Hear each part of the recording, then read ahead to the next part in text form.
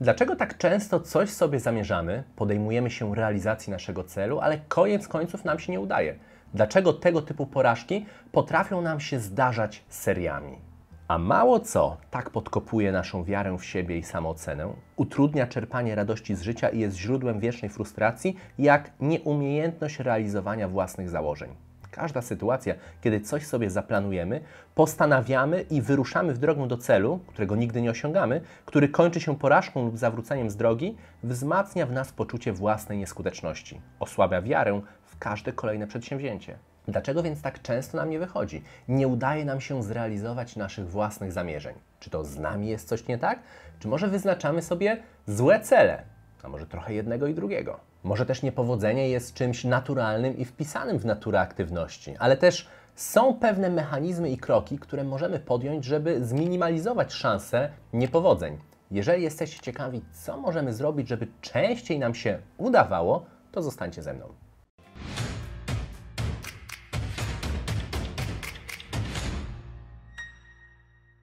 Po więcej psychologicznych ciekawostek, filozoficznych rozważań, e, poleceń literackich, różnych inspirujących cytatów i bardzo fajnych, wartościowych dyskusji, zapraszam Was też serdecznie na mój profil na Instagramie. Profil to Człowiek Absurdalny.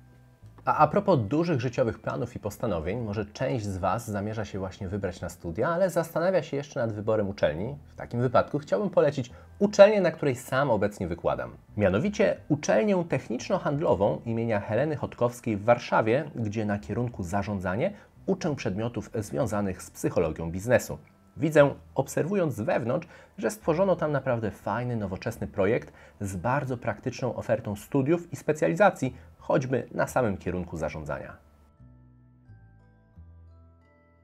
Jeżeli temat jest dla Was aktualny, to serdecznie zachęcam do zapoznania się z ofertą uczelni. Link do niej znajdziecie w opisie tego odcinka. Rozdział pierwszy. Rodzaje niepowodzeń. Rodzajów niepowodzeń, w których coś nam się nie udaje, może być oczywiście bardzo, bardzo dużo i nie sposób w jednym odcinku wyczerpać wszystkie mechanizmy psychologiczne, jakie wokół tego się znajdują. I na przykład chciałbym z dzisiejszego opracowania wykluczyć takie sytuacje, kiedy coś nam się nie udaje, bo w ogóle się za daną aktywność nie zabraliśmy. Jak lubił mawiać Michael Scott z serialu The Office, pudłujesz w 100% sytuacji, kiedy w ogóle nie podejmujesz się rzutu. Dlatego Zresztą omawiałem to kiedyś w odcinku o psychologii lenistwa, dlaczego na przykład mamy problem w ogóle się za coś zabrać, dlaczego się niejako lenimy i że to wcale niekoniecznie jest lenistwo, że to wiąże się chociażby z lękiem przed porażką, czy lękiem nawet przed sukcesem. Serdecznie też polecam tamten odcinek. O tej sytuacji więc, kiedy nie wychodzi nam, bo w ogóle się za jakieś działanie nie zabraliśmy, nie będę dzisiaj mówił.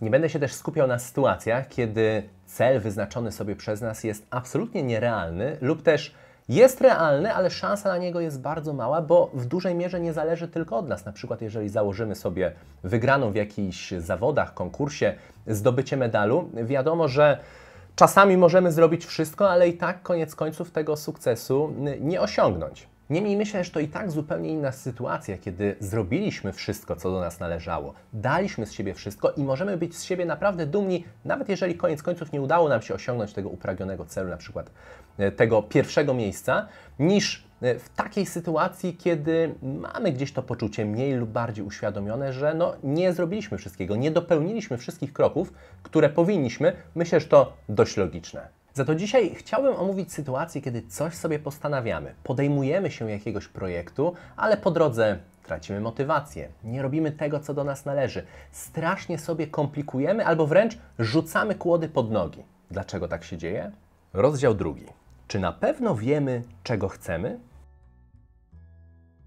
Pierwszy dość istotny problem w realizacji naszych osobistych celów jest taki, że bardzo często podejmujemy się różnych aktywności, działań, e, robimy sobie postanowienia, zamierzenia, kiedy chcemy coś zmienić w naszym życiu. No i wiemy, że chcemy zmienić na lepsze, ale tak poza tym to, jak absurdalnie by to nie brzmiało, nie do końca czasami wiemy, na czym ta zmiana miałaby polegać.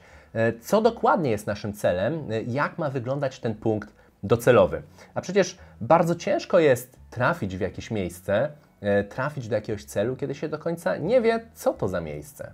Pomysł na dzisiejszy odcinek przyszedł do mnie, kiedy robiłem swoim studentom ostatnio wykład o zarządzaniu zmianą, bo to zarządzanie zmianą było jednym z elementów, którymi zajmowałem się jeszcze w swojej pracy w korporacji doradczej, więc to była taka usługa, którą wspieraliśmy inne duże firmy, duże organizacje.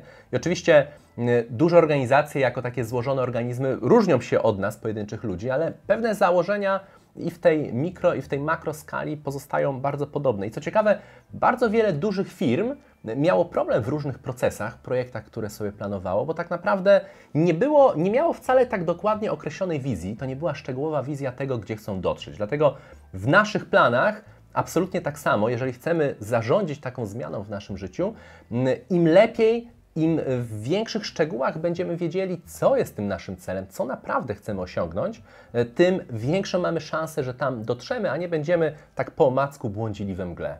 Ale załóżmy, że już wiemy dość dobrze, gdzie chcemy dojść, wiemy nawet, co powinniśmy zrobić, żeby osiągnąć to, co sobie zamierzyliśmy, ale mimo wszystko e, nie robimy tego, co powinniśmy robić, wręcz robimy rzeczy, których robić nie powinniśmy. Wtedy mówi się o tak zwanym autosabotażu. Autosabotaż to zjawisko, które w psychologii nosi też nazwę samoutrudniania. To różnorodne sposoby myślenia oraz działania, które minimalizują szansę osiągnięcia sukcesu oraz jednocześnie dostarczają usprawiedliwień dla porażki. Samo utrudnianie pozwala zrzucić winę za niepowodzenia na istotne czynniki zewnętrzne, nadmiar zadań do wykonania, nieszczęśliwe zrządzenia losu, innych ludzi czy pogodę.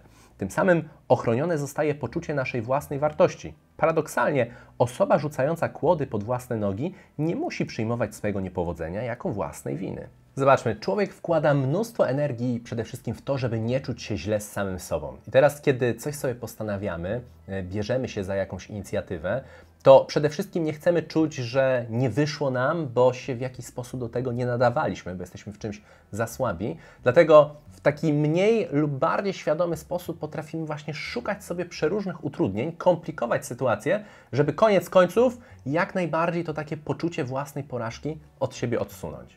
Czasami jednak sabotujemy na przeróżne wymyślne sposoby nasze przedsięwzięcia, bo tak naprawdę boimy się zmiany, jaka by zaszła, gdyby koniec końców nam się udało, bo tak naprawdę jest nam wygodnie, chociaż możemy twierdzić coś innego, y, w tym takim statusie quo, w jakim tkwimy. I bardzo ciekawą obserwację, taką osobistą z tym związaną, y, poczyniłem ostatnio, bo u, u psychoterapeuty opowiadałem o tym, że generalnie w moim życiu ostatnio wszystko się naprawdę świetnie układa, ale no jest jeszcze jedna taka rzecz, taki pewien obszar, pewne przyzwyczajenie, którego jakbym się tego pozbył, to już naprawdę chyba niczym bym się nie przejmował, już by było absolutnie super. I jak tak pomyślałem chwilę nad tym, w tamtej sytuacji takiej terapeutycznej, która generalnie pomaga mi z takim wglądem w samego siebie, olśniło mnie nagle, że poczułem taki smutek na myśl o tym, e, że miałbym się pozbyć tej, tej konkretnej rzeczy z mojego życia. I dzięki temu odkryłem, że tak naprawdę teoretycznie mówię, że chcę się tego pozbyć, ale jest tym coś, co bardzo lubię. I teraz, co ważnego mi ta świadomość dała? Ona mi dała chociażby to, że mimo wszystko to, że wydaje mi się, że ja nie potrafię z czymś wygrać, nie wynika dlatego, że to jest jakaś taka wielka, niepowstrzymana siła w moim życiu, ale to jest mimo wszystko mój wybór. To jest jakiegoś rodzaju moja sympatia, co już dostrzegam, osłabia siłę oddziaływania tej konkretnej rzeczy na moje życie. Zobaczymy, może teraz będzie mi sobie łatwiej z tym poradzić. Ale jest jeszcze jeden bardzo istotny obszar. Czasami coś sobie postanawiamy, wydaje nam się, że czegoś chcemy, ale tak naprawdę, znów jak absurdalnie by to nie brzmiało, wcale tego nie chcemy. Czasami decydujemy się na coś, bo nie przemyśleliśmy, jakie mogą być alternatywy. Czasami wydaje nam się, że czegoś chcemy, ale tak naprawdę tego chcą na przykład inni, którzy mają na nas bardzo duży wpływ, na przykład nasze środowisko. Bywa też tak, że cele, które sobie wyznaczamy, tak naprawdę mają przykrywać różne inne problemy, które występują w naszym życiu, a wcale tak naprawdę ten cel nie jest dla nas jakoś specjalnie ważny. To jest raczej pewnego rodzaju ucieczka. Tutaj tych opcji jest bardzo dużo, ale chcę podkreślić, jak strasznie ważne jest to wsłuchanie się w siebie, analizowanie tych swoich wewnętrznych motywacji i, no jak zawsze, tego swojego wnętrza. Rozdział trzeci. Jak ułatwić sobie drogę do celu? Erich Fromm, myśliciel, do którego bardzo lubię nawiązywać, mawiał, że niezbędne do mistrzostwa w jakiejkolwiek dziedzinie są trzy cechy, mianowicie dyscyplina, koncentracja i cierpliwość. I tak skupiając się na chwilę na koncentracji, myślę, że to jest taki zasób, którego generalnie bardzo nam brakuje w naszych czasach. Często się o tym słyszy. I teraz to bardzo nam utrudnia realizację przeróżnych celów. I myślę tutaj zarówno o takiej koncentracji na danym momencie, kiedy na przykład bierzemy się za jakąś aktywność, ale też i może nawet bardziej o takiej koncentracji ogólnożyciowej. I bardzo ciężko jest zrealizować sobie jakieś zamierzenie, kiedy jesteśmy ciągle rozproszeni na przykład przez zbyt wiele innych projektów, które akurat wzięliśmy na siebie, e, lub też to, że na przykład teraz jesteśmy bardzo skupieni bardziej na zabawie, na imprezowaniu, na wynajdywaniu sobie przeróżnych dramatów w naszym życiu osobistym, co również może być takim mechanizmem bardzo powiązanym z autosabotażem, bo za bardzo rozpraszają nas różne burzliwe relacje, w jakie się angażujemy w naszym życiu, czy też różne problemy, których dotąd nie rozwiązaliśmy. Więc, żeby osiągnąć jakiś sukces, osiągnąć jakieś zamierzenie, niesamowicie ważne jest czasami najpierw posprzątać, czasem nawet odłożyć wzięcie się za jakiś projekt i najpierw na przykład rozwiązać problemy, które cały czas gdzieś mamy w głowie, które cały czas nam to później utrudniają.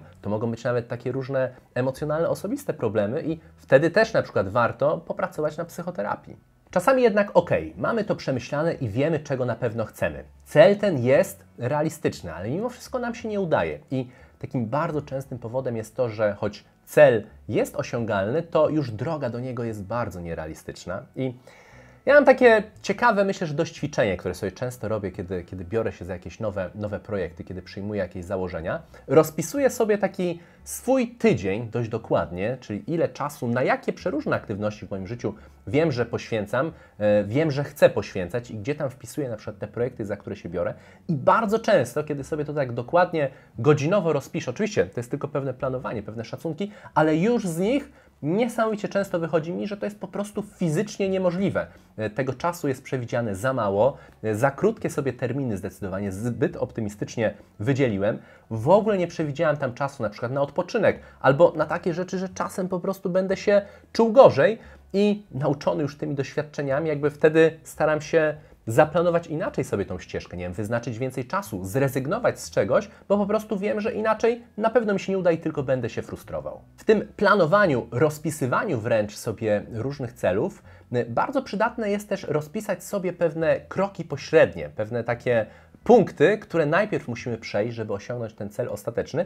Wiąże się to chociażby z motywacją, bo tej motywacji no, ona jest jednak uzależniona od naszych emocji, od naszego samopoczucia. Jednego dnia będziemy mieli więcej, innego będziemy mniej. I czasami, kiedy cel jest zbyt odległy, on jest zbyt duży, zbyt jeszcze dla nas abstrakcyjny, nienamacalny, możemy po prostu tracić motywację do tego celu. Ale kiedy wtedy możemy się skupiać na tych punktach pośrednich, tych punktach po drodze, często łatwiej jest się zmotywować, ok, Teraz skupię się akurat na tym, na tym celu, na tym pomniejszym punkcie. Jak go osiągnę, będę myślał o kolejnym i kolejnym, nie zapominając oczywiście o tym szerszym obrazku. Wspominałem też o tym, i to jest też ogromnie istotny punkt, z którym bardzo wielu z nas ma problem, że kiedy sobie coś planujemy, potrafimy zapomnieć też o czasie na odpoczynek, na nagrodzenie się za wykonanie jakichś takich y, tych pomniejszych fragmentów roboty, po prostu za to, że, że działaliśmy nad tym, na czym nam zależy. I to jest niestety najprostsza droga do tego, żeby stracić radość w ogóle ze swojego działania, z tego jak wyglądają nasze dni, co absolutnie zabije naszą motywację do tego, żeby dążyć koniec końców do tych celów, szczególnie które są długofalowe. Rozdział czwarty. Czym naprawdę jest porażka? Jest taka dość słynna coachingowa afirmacja: dopóki walczysz, jesteś zwycięzcą. I ja ze swoją filozofią życia nie do końca się z tym zgadzam. Uważam, że jest to trochę przesadzone, nadoptymistyczne. Aczkolwiek, dopóki prowadzimy jakąś aktywność, dopóki ostatecznie jej nie zarzucimy, nie poddamy się, to na pewno nie możemy powiedzieć, że przegraliśmy, że odnieśliśmy porażkę, bo po prostu cały czas mamy szansę, cały czas mamy jeszcze ten czas, żeby się podnieść, żeby koniec końców ten swój zamierzony cel, nieważne jak dużo e, nam zajmie jego osiągnięcie, ale żeby go osiągnąć. Miałem ostatnio tę przyjemność, że zostałem zaproszony do takiego programu razem z mistrzem świata mieszanych sztuk walki Federacji UFC, Janem Błachowiczem i zastanawialiśmy się tam właśnie nad tym, z czego bierze się sukces, jaka, jakie mechanizmy psychologiczne za nim stoją. I zacytowałem tam nawet e, tą myśl Froma a propos dążenia do mistrzostwa, że kluczowa jest dyscyplina, koncentracja i cierpliwość i że właśnie w dzisiejszych czasach myślę, że bardzo wielu z nas, jak banalne by to nie było, ale brakuje bardzo tej cierpliwości. I tutaj Jan Błachowicz y, przytaknął, on mówi, że, że tak, zgadza się z tą myślą, choć u niego to jest y, wytrwałość, wytrwałość i wytrwałość, czyli trzy razy tak naprawdę ten upór i konsekwencja w dążeniu do swoich celów, bo porażki po drodze zdarzać się będą zawsze. Dlatego może rozczaruję tych, którzy liczyli w tym materiale na jakąś taką złotą pigułkę, jakiś taki magiczny sposób, który pozwoli nam osiągać sukcesy tam, gdzie do tej pory nam się nie udawało, ale Prawda jest taka, że pewne fundamenty, pewne podstawy, kiedy dobrze zrozumiemy swoje motywacje, kiedy dobrze przepracujemy swoje wnętrze, posprzątamy swoje środowisko, żeby zabrać się do celu, one są dość oczywiste. Trzeba po prostu no, być wytrwałym w tej swojej wytrwałości, mieć tą cierpliwość do siebie, pozwalać sobie na to, że czasem idzie nam gorzej, czasem idzie nam lepiej, bo wtedy rzeczywiście, jeśli się nie poddamy, mamy na pewno szansę, żeby osiągać to, na czym nam zależy. A jeżeli takim ważnym Waszym osobistym celem jest teraz akurat wybrać sobie dobre studia, to ja serdecznie polecam ofertę y, uczelni techniczno-handlowej, o której wspominałem. Link do niej znajdziecie w opisie odcinka. Będzie okazja na przykład też przyjść na moje wykłady. Myślę, że są, są całkiem ciekawe. To tyle na dzisiaj. Dajcie koniecznie znać w komentarzach, jakie Wy widzicie być może jeszcze powody, bo na pewno nie wyczerpałem tutaj wszystkich możliwości, dlaczego czasami nam się nie udaje i jakie może macie sposoby. Najchętniej takimi doświadczeniami fajnie by było o nich poczytać w komentarzach, w tej dyskusji, która tutaj mam nadzieję, że się nawiąże.